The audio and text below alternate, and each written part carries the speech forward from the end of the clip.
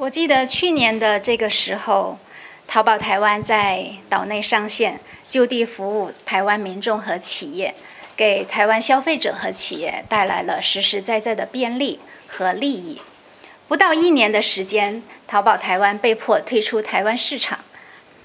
大家就可以看到，民进党当局进行政治操弄，阻挠限制两岸经贸合作，试图制造两岸脱钩，直接损害的。只能是台湾民众和企业的福祉和利益。